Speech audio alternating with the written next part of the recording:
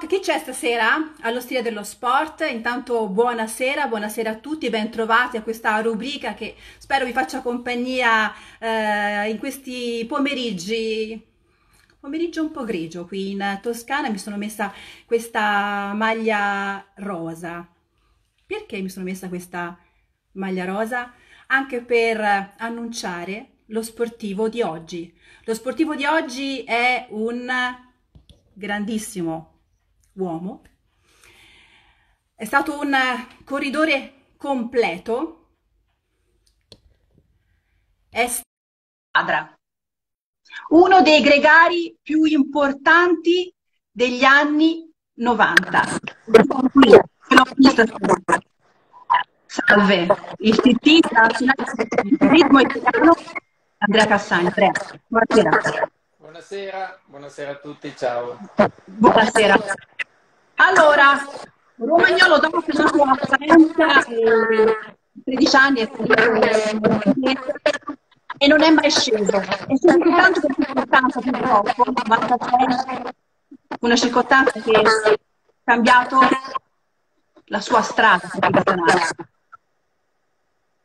Cosa è successo? È successo che stavo cominciando la mia quindicesima stagione da professionista, il 13 febbraio, ero in Francia a Carcassonne, ero nella Saeco, la squadra di Grande, di Cipollini. Sento un rumore strano, Andrea, eh, come se ci fosse la, la catena di una bicicletta, ma non credo che sia la catena di una bicicletta. E io che si sente malissimo. Io ci, ci riprovo, proviamo, prova a parlare Andrea. Ecco, adesso mi senti? Mi sento molto bene, scusami se ti do del tu, ecco. però mi viene così, mm, viene in maniera naturale. Va bene uguale?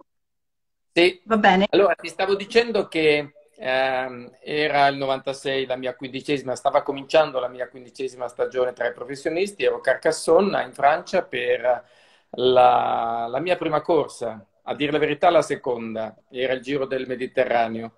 Niente, esco in allenamento, una macchina non mi vede, mi investe e lì praticamente finisce la mia carriera perché un mese dopo a quella caduta mi chiama la RAI per chiedermi se volevo andare a lavorare per loro. E dal momento che avevo 35 anni, dal momento che quella mi sembrava una grande opportunità, ho smesso di correre e ho cominciato a fare il commentatore sportivo.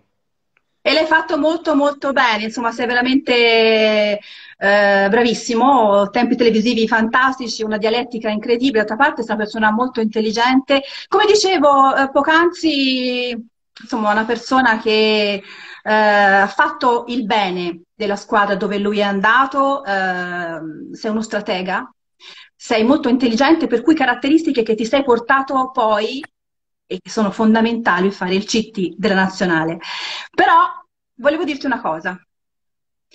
Mi sono messa questa maglia rosa in onore di una competizione che in questo momento si sarebbe potuta disputare, forse dai tempi della, della seconda guerra mondiale che non si corre. Sì, diciamo che non abbiamo mai corso un Giro d'Italia ad ottobre, speriamo di correrlo quest'anno perché uh, il calendario c'è, uh, il Giro è posizionato dal 3 ottobre oggi saremmo stati tutti, almeno uh, quelli del Giro, in Ungheria e domani saremmo tornati in Italia per ripartire dalla Sicilia.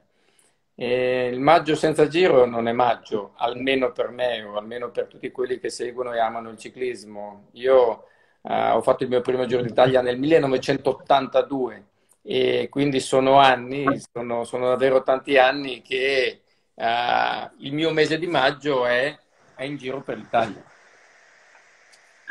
Ti faccio questa domanda. Siamo reduci da due mesi di Covid, di pandemia. Sono stati mesi durissimi.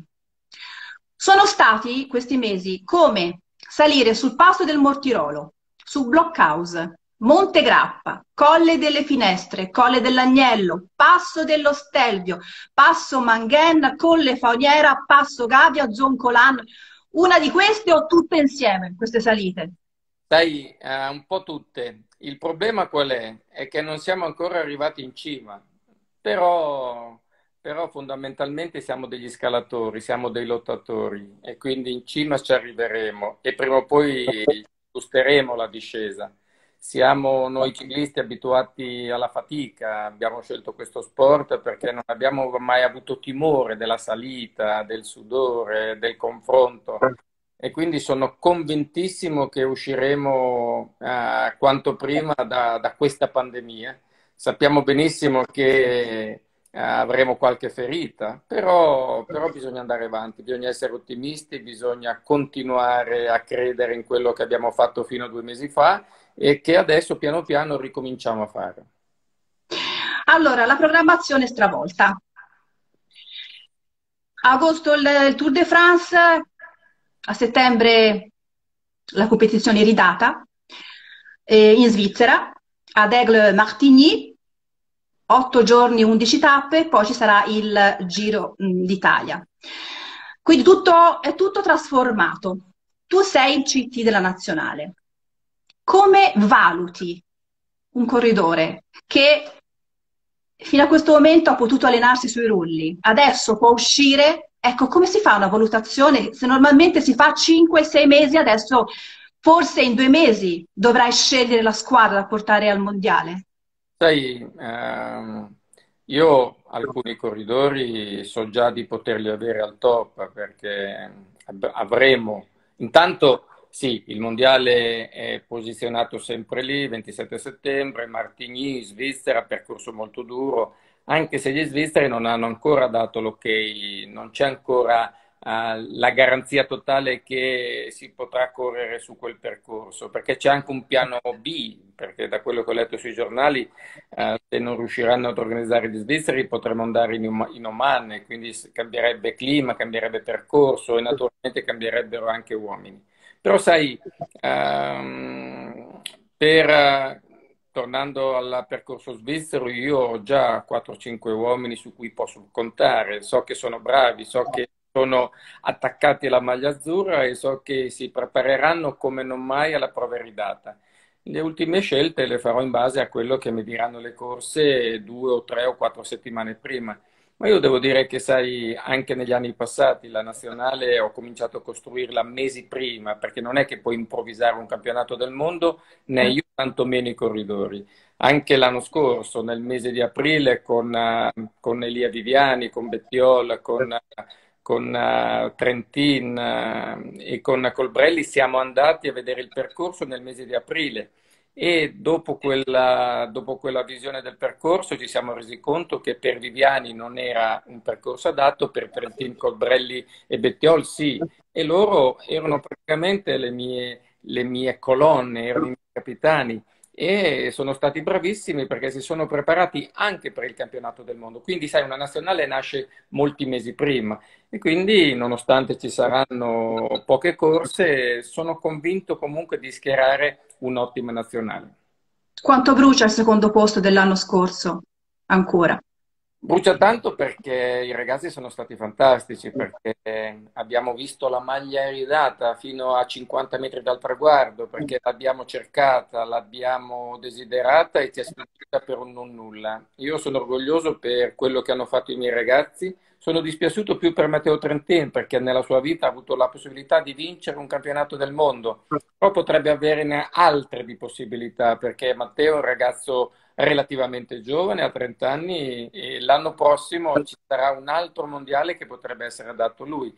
E tornando a quel mondiale, sì, la marezza è stata tanta, però ho vissuto una giornata veramente straordinaria per le emozioni, per la tensione per, eh, per vedere una squadra che si è comportata da vera squadra e da grande squadra. Noi non eravamo tra i grandi favoriti e abbiamo, non dico dominato la corsa, ma l'abbiamo, l'abbiamo imposta, l'abbiamo cercata in quella maniera e solamente un danese più forte di noi ci ha privato di una, di una maglia ridata. Tu sei un figlio professionale, se così possiamo dirlo, di Martini. Lui aveva Moser e Staronni. E tu? Io, io non, ho, non ho Moser, non ho Saronni, non ho Bettini. Eh, non ho Allan, però ho un gruppo di ragazzi che in questi anni è cresciuto tantissimo. Non abbiamo fenomeni eh, straordinari, ma abbiamo dei campioni perché Viviani, Trentin, eh, lo stesso Gianni Moscon, ragazzi che sono cresciuti in questi anni e, e ci hanno regalato anche delle belle perché non dimentichiamoci che negli ultimi due anni abbiamo vinto due campionati europei con uh, Matteo Trentin ed Elia Viviani, abbiamo lavorato un campionato del mondo, cioè dire che dopo, dopo Bettini e Ballan, che sono stati gli ultimi a vincere i campionati del mondo, abbiamo avuto delle difficoltà perché, perché, le classiche non riuscivamo più a vincerle. E l'ho sempre detto, quando torneremo a vincere le grandi classiche del nord, torneremo a vincere i campionati del mondo. L'anno scorso abbiamo vinto il Giro delle Fiandre con Bettiol e abbiamo sperato il campionato del mondo. Non dimentichiamoci che lasciamo stare i Saroni e Moser che erano veramente i campioni che dominavano il lungo e largo da, da febbraio a ottobre ma anche quando negli anni 90 abbiamo vinto i campionati del mondo con Cipollini, Bettini e, e, e con uh, quei corridori, prima di vincere i mondiali, hanno vinto grandi classiche. E quindi, e quindi, il ciclismo, il movimento italiano sta tornando ad alti livelli e, e sono convinto che con questi ragazzi un mondiale si può vincere. Abbiamo parlato prima di aspetto fisico, no? della, della forma eh, quanto è importante invece la competizione dal punto di vista psicologico. Gli mancherà qualche chilometro nel senso competitivo del termine agli atleti che tu dovrai eh, in qualche maniera scegliere? No, non penso, perché sono tutti ragazzi esperti, sono tutti ragazzi abbastanza tranquilli, intelligenti. Ecco, tu prima hai parlato di intelligenza. Io ho dei ragazzi veramente intelligenti, lo hanno dimostrato in corsa e fuori e, e lontano dalle corse. Eh, si sono preparati, hanno continuato allenarsi sui rulli, adesso hanno ricominciato a uscire su strada. Sai, eh, qual è il vantaggio? Che tutti sono sulla stessa barca, tutti hanno purtroppo passato momenti difficili, ma come dicevo prima, i corridori sono abituati alle difficoltà, sono abituati alle cadute. Quando cadono, la prima cosa che fanno non è vedere oh cosa mi sono fatto, no, la prima cosa che fanno è prendono la bici, la bici e ripartono, tante volte anche con delle fratture. E quindi, quindi anche in questo caso ripartono sapendo che Uh, sarà un anno del tutto particolare, ma chissà, potrebbe anche essere più bello, mi auguro, nel senso di gare, di competizioni, di agonismo, no? Certo. Allora, un CT ha il compito ovviamente di selezionare degli atleti, uh, viene, diciamo, a grandi linee stabilita una, una strategia per come affrontare uh, la competizione, ma se dovessi fare una percentuale, quanto è farina del sacco del CT e quanto libera scelta degli atleti che scendano su strada. Io dico sempre che quando si perde la colpa del commissario tecnico, quando si vince il merito è dei corridori. Io scelgo gli atleti, cerco di formare una squadra, do delle indicazioni, ma alla fine sono loro che in un determinato momento devono scegliere cosa fare, come correre, se scattare o se stare a ruota. Ti faccio un esempio, l'anno scorso ai campionati europei avevamo un percorso completamente pianeggiante, l'avevamo studiato bene, avevamo un capitano designato che era Elia Viviani, un regista altrettanto bravo come Matteo Martin, che sapevo che sarebbe stato il mio capitano ai mondiali, ma mi serviva l'europeo perché doveva gestirmi una squadra avevo gente che poteva tirare l'inizio, gente che poteva essere pronta nel finale. Sapevamo che c'era dentro, è per questo che siamo stati noi a portare via il primo ventaglio dopo appena 10 km, staccando già un centinaio di corridori. E sapevamo che c'era un tratto di 3 km nel centro città, nel, nel, nel, centro, nel punto centrale del circuito finale, dove un attacco poteva essere risolutivo perché strade strette, tornanti, o meglio, curve strette, quindi il gruppo si sarebbe allungato, stare davanti era molto meno faticoso rispetto a stare dietro. E io ragazzi gli ho detto, io non, io non ho la radiolina, io non posso dirvi quando poter attaccare, ma bisogna fare un attacco a 40, 50-60 km al traguardo, perché quello potrebbe essere il momento giusto. E quindi, ragazzi, siete voi, dovete guardarvi negli occhi, dovete stabilire il momento preciso perché non, non ve lo posso dire il giorno prima. E loro sono stati molto bravi, hanno portato via il ventaglio, hanno portato via a 50 km al traguardo un gruppetto di 13 corridori dove ce n'erano quattro dei nostri. E quindi Cimolai, Consonni si sono sacrificati con Matteo Trentin e hanno lanciato gli Viviani nel finale. Quindi è stata veramente una, una, una vittoria di squadra. Io ci ho messo lo zampino, ma alla fine sono stati loro a fare quasi tutto. Un GT deve essere anche uno psicologo, deve far convivere eh, più anime, e, insomma, possiamo definire le prime donne o forse è più, diciamo, una classificazione più adatta al calcio che al ciclismo? Il ciclismo è particolare, è uno sport individuale, ma la squadra è fondamentale e quindi devi scegliere gli uomini giusti. Eh, è come nel calcio, non puoi giocare con quattro punti perché alla fine rischi di prendere il gol e di perdere la partita. E anche nel ciclismo serve una squadra equilibrata, ruoli ben definiti e lo devono sapere prima. E ognuno sa quello che deve fare e quello che può fare. Uno ci può mettere anche l'intelligenza tattica, come io ero una sorta di braccio destro di Alfredo Martini, ero il suo regista, era quello che andava a parlare con lui, ero il suo uomo di fiducia quando mi chiamavano l'uomo di Alfredo Martini, per me era, era un bando, un orgoglio. E quindi cerco di trasferire tutto quello che mi ha insegnato Alfredo, e non solo lui, ai miei ragazzi. È naturale che all'inizio ho fatica perché ho fatto un grande errore nei primi miei campionati del mondo. Ho trasferito tutto quello che era il mio ciclismo al ciclismo di oggi, quando invece le corse, i corridori, gli uomini sono diversi. E quindi ho cercato di adattare nuovo e quindi, e quindi anch'io ho fatto la mia esperienza, ma ho cercato appunto di mettere qualcosa di mio. E come ti dicevo prima, ho la fortuna uh, di avere a che fare con dei ragazzi intelligenti, ragazzi con i quali posso uh, parlare, con i quali ho grande stima e fiducia, a tal punto che due settimane, tre settimane prima del mondiale, a volte sono stati loro stessi a dirmi: Guarda, io sono riuscito a prepararmi, preferisco stare a casa. E quindi, e quindi questo... Grande senso di responsabilità. Grande sì. senso di responsabilità. Eh, alla fine vedo, tra l'altro ho la maglia della nazionale, è la mia seconda pelle. La maglia della nazionale non è una maglia come tutte le altre, è, è un simbolo, un vero simbolo. E quindi è una maglia che deve essere usata. E quando la indossi fai un qualcosa di straordinario, sei, sei uno che in quel momento rappresenta la nazione, non è cosa da poco. Non e è cosa da poco. E questo i miei ragazzi lo sentono in, modo particolare. Come noi quando, quando, quando correvamo. Certamente. Hai parlato del ciclismo moderno. Si può definire un, un ciclismo più di qualità che di quantità rispetto al passato?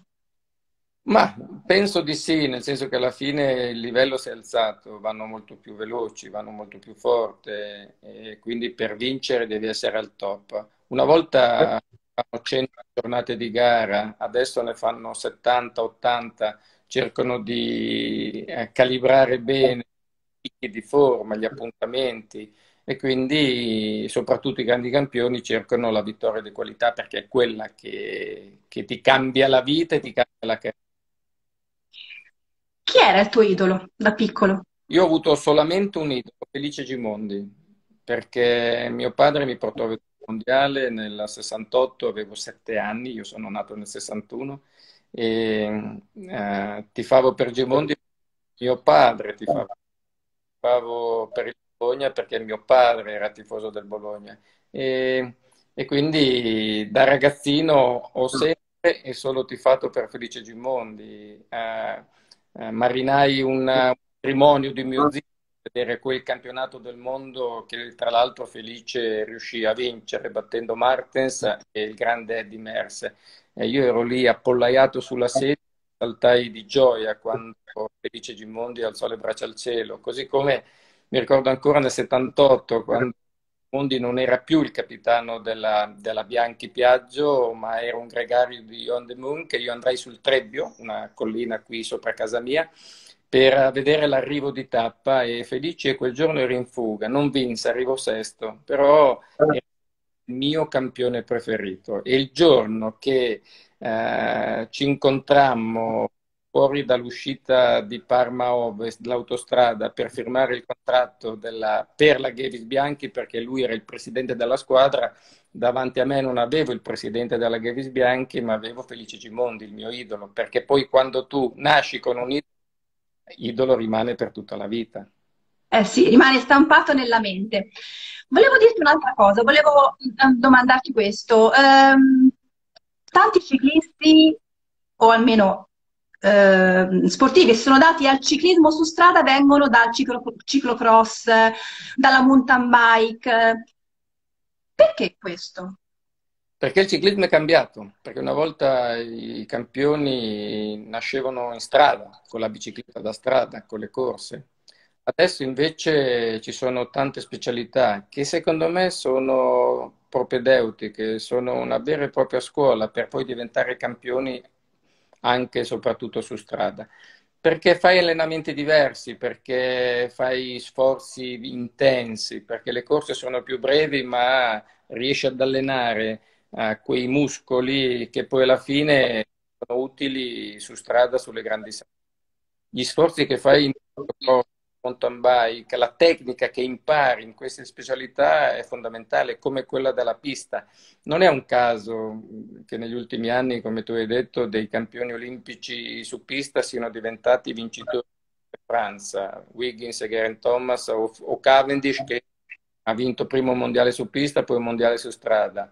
Uh, lo stesso Alain Philippe ha fatto secondo in un mondiale di ciclocross e Gambernal ha fatto due terzi in due mondiali di mountain bike Vuol dire che bisogna cominciare con queste specialità perché intanto sono più divertenti e anche più sicure perché non sei su strada ma sei sui campi o su sentieri di montagna o in un velodromo.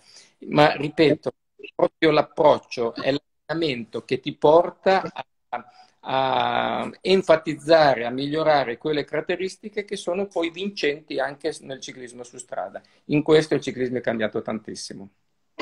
Ho letto, anzi, ho, ho, sentito qualche tua intervista in cui dici che i ragazzini non devono essere stressati e quindi volere da loro subito il risultato, ma diversificare, proprio magari ehm, far dedicare loro l'attività sia su strada che eh, mountain bike, appunto, in altre discipline perché così non si annoiano.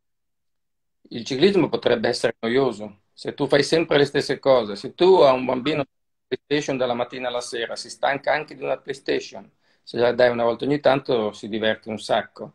La bicicletta, il ciclismo è uno sport di fatica e quindi bisogna dosare eh, questo sport soprattutto con i ragazzini. Io tra l'altro farei anche presto a fare andare forte un ragazzino, farlo vincere ci vuole veramente poco, lo alleno il doppio del tuo coetaneo ma non posso allenare doppio un ragazzino eh, per tutta la vita, lo brucio. E quindi la cosa più importante è eventualmente cominciare sì tra i giovanissimi, ma fare altre attività sportive. Mio padre, eh, che era un lungimirante, uno che mi voleva abbastanza bene, mi ha sempre detto, e io pensavo di no, eh, mi ha sempre detto, vuoi correre in bicicletta? A 13 anni la bicicletta te la compro, prima no, fai quello che vuoi. Ho giocato a calcio, ho corso a piedi e finalmente è arrivata la bicicletta a 13 anni, ho cominciato a 14.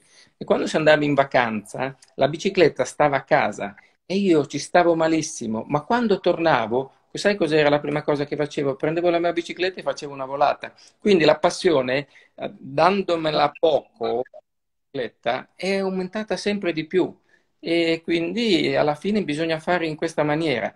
Uno comincia cose sul serio a 17-18 anni, non prima. E lo dimostra il fatto che fino a 18 anni si è buttato da un trampolino perché faceva quello sport e Remco Evenepoel fino a 17 anni era il capitano della nazionale belga di calcio. Quindi quello che si fa prima non conta assolutamente niente, sì, serve per imparare, per migliorare, per essere poi pronti quando sarà necessario. Nei giovanissimi devi giocare e possibilmente fare altre attività fisiche, perché un bambino ha bisogno di divertirsi, ha bisogno di giocare, perché a quell'età, a 7, 8, 9, 10 anni, lo sport è ancora un gioco e altrimenti rischia di intossicarsi. Allora, intanto stanno scrivendo che tu sei rassicurante ed effettivamente è così, sentirti parlare è veramente una gioia e, la rassicurazione, l'equilibrio è una componente, sono delle componenti importanti per, per un CT. Una componente importante per fare questo sport, lo sport massacrante, è l'alimentazione. Tu Davide dai molta importanza a questo aspetto, infatti quando ci siamo sentiti ti ho detto, ma senti, in questa rubrica, lo stile dello sport, si parla anche di ricette. Lui mi ha detto, io non so cucinare neanche d'uova. E allora avere Davide Cassani, bisogna per forza, in questo caso per la tua mentalità, per la tua forma mentis, io devo chiederti un cicloamatore, una persona che si vuole avvicinare alla bicicletta, deve affrontare chilometri e chilometri, come deve alimentarsi? No, intanto ti posso dire che le uova sode le so cucinare, ma proprio bene. Eh? Davvero? Sono veramente... Quanti minuti? Sette? Sette minuti? Ah, meno, vedo, bolle un po', dopo un po' spengo e, e di solito quando, quando le mangio sono sode. Allora, eh, anche qui serve equilibrio. Uno eh, non deve privarsi di, di, chissà che cosa. Le cose fanno male, ne deve mangiare meno. A parte che io sono fortunato perché non lo so poi se sono fortunato oppure no sono astemio, quindi qualcuno di, mi dice che non sono fortunato perché mi perdo. Lo dicono anche a me, io vivo in un paese dove dicono che ci sia un buon vino, vino di Monte Carlo, io non l'ho mai assaggiato perché non amo bere, eh, però in compenso amo mangiare. Tu invece sei una persona che è lì già, mangi poco e spesso come fanno i grandi? Mangio poco, mangio spesso perché non sono un mangiatore però cerco comunque di curare un po' l'alimentazione perché perché se ad una Ferrari gli metti dentro della benzina sporca non va e quindi è molto importante l'alimentazione. Io ho il vantaggio che non cresco di peso perché più o meno sono sempre sui 68, 69, 70 kg. Ero 65 quando correvo, adesso ho 59 anni, più o meno sono sempre con lo stesso peso. Perché poi, ripeto, l'importante non è mangiare poco e soprattutto mangiare bene. Poi amo il gelato, amo la pizza e quindi mi tolgo le mie soddisfazioni però cerco di, di, di dosare. No? E quindi alla mattina una buona colazione, cereali, cerco di non prendere zuccheri perché alla fine si alza troppo la glicemia, ci metto qualche proteina, perché alla fine devi sempre cercare di equilibrare, cercare sempre di, eh, come dico sempre, fare, le- fare il fuoco con la legna e con la paglia. Perché cosa succede? Se tu prendi tanti tanti zuccheri, no? Eh, e poi devi uscire in bicicletta, eh, è come fare fuoco con la pata poi si spegne. E quindi alla fine devi cercare di mangiare mettendo ogni tanto quasi sempre un po' di proteine insieme ai carboidrati, cercando di uh, mangiare prodotti a basso indice glicemico. Quindi sto un po' attento con quello, però mie, i miei sfizi me li tolgo. Con certo, certo. Poi da quelle parti si mangia anche bene in Romagna. Dillo, dillo a me che, che fa, dei, fa, fa, dei, piatti veramente straordinari, quindi a cominciare dai cappelletti, dai tortellini, dai passatelli e quant'altro. Vai ancora, nel senso ti alleni la mattina, pomeriggio, qual è la programmazione di Davide Cassani? Quando voglia. Per me in questo momento da diversi anni non è un allenamento, ma è un modo per stare bene. Io nella mia vita ho fatto più o meno 800.000 chilometri, ma ancora adesso, per esempio, corso di chilometri in bicicletta ne ho fatti 12.000. Corro anche a piedi perché ho fatto anche diverse maratone, ho fatto anche la 100 km del passatore da Firenze a Faenza. L'ho fatta perché io abito in piazza Faenza e quindi ho sempre detto una volta nella mia vita voglio partire da Firenze e tornarmene a casa a piedi e l'ho fatta e sono contento. Ci stanno seguendo in tanti, Matteo Riva salutatemi, lo salutiamo. E, e, come si fa a non amare Davide Cassani? Perché effettivamente c'è chi ti vorrebbe anche ministro dello sport. No, sono un politica, sono, sono un tecnico e, e, orgoglioso di esserlo. Sai, mi piace lo sport, eh, la passione dello sport eh, ce l'ho fin da piccolo, fin da bambino. Io, come ti ho detto, ho sempre, ho sempre saputo che da grande avrei fatto il corridore. Era il mio sogno, il mio obiettivo e quando hai un sogno vuol dire che riesci a capire prima degli altri quale sarà il tuo. Perché comunque è la strada che, che sai qual è, no? Sai, quando tu non sai cosa fare, arrivi un video e ti fermi, vado di qua, vado di qua. Io ero sicuro che la mia vita era quella. Poi sono stato bravo, fortunato e, e, e tante altre cose. Però, però eh, la passione per la bicicletta mi ha veramente reso questa vita molto bella e piacevole.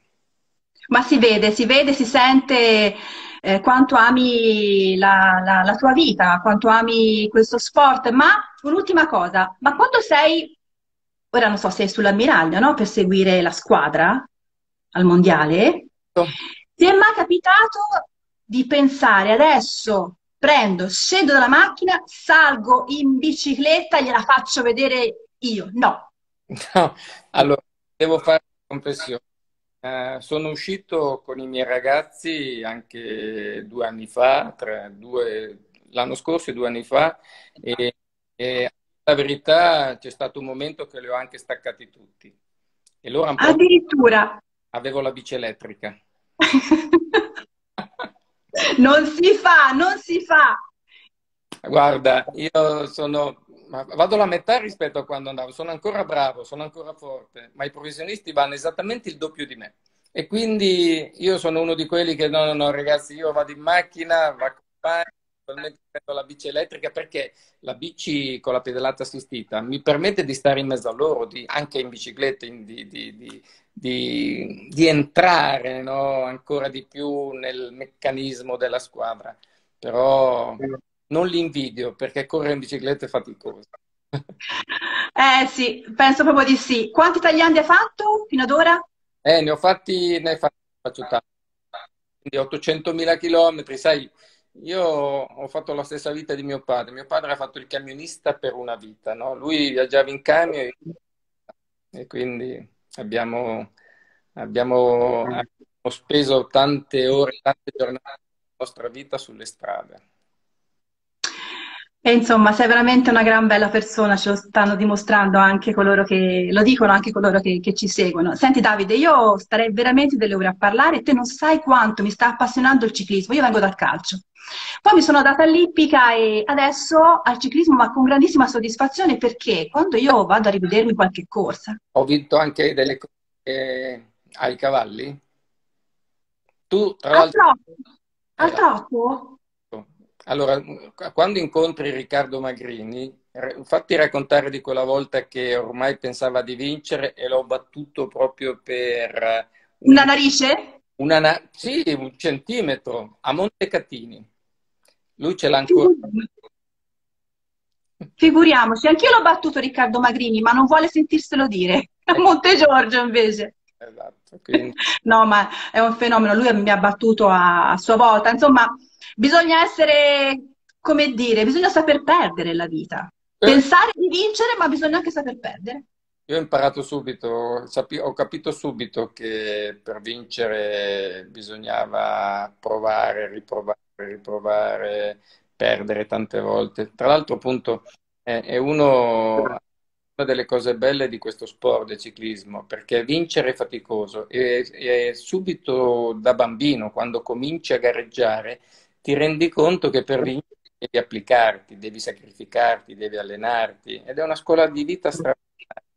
E il giorno che riesci a vincere sei l'uomo più contento di questo mondo. Tu pensi che, sì, da dilettante di corse ne ho vinte non tantissime, ma abbastanza.